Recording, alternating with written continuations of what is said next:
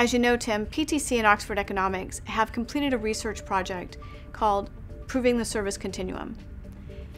A big part of this project was prompted by the work that PTC is taking on with global manufacturers across the globe as they look to address how to gain a sustainable competitive advantage through services within their companies.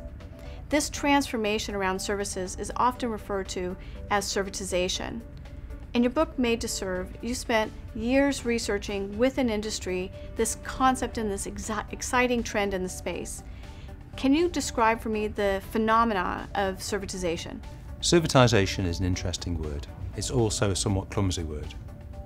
In this context, servitization is used to describe how manufacturing companies, slowly but surely, build their revenue streams around services.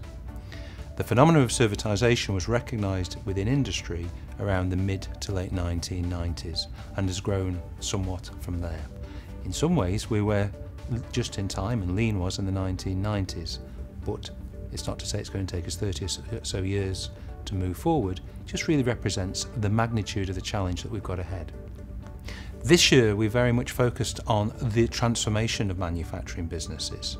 And one of the challenges that we recognise that there is no owner of servitization inside a traditional business.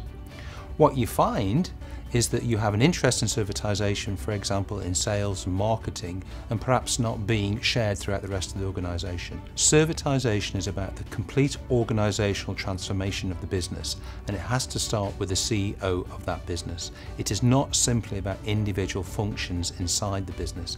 It has to be owned by the business as a whole. Great insight and great information, Tim. Thanks again for being here today. Thank you, sir.